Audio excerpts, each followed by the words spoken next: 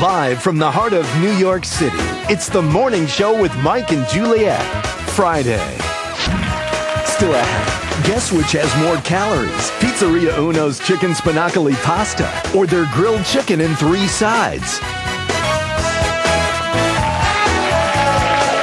We are back with one of our favorite segments. This for that. We show you some of the most shocking calorie comparisons for your favorite foods. This week, we are taking on neighborhood restaurants. Going out to eat can be a real challenge with a menu full of tempting but fattening options.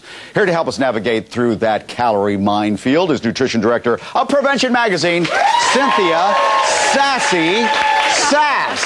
Hi, Sassy Cynthia. Sass, that's my name. I love this place. Pizzeria Uno. And they have, oh, yeah, they yeah, have baby. a lot of other stuff besides pizza. Yes, this they is do. Mm. chicken spinoccoli pasta. And talk about carbo loading between Yeah. the pasta and the breadsticks. 150 grams of carbohydrate, which is three times more than you should have in a typical meal, Mike. And guess what? 1,760 calories and 90 grams of fat. Well, sure, we could go over to Uno and have that. But for the same amount of calories, you could have all of this.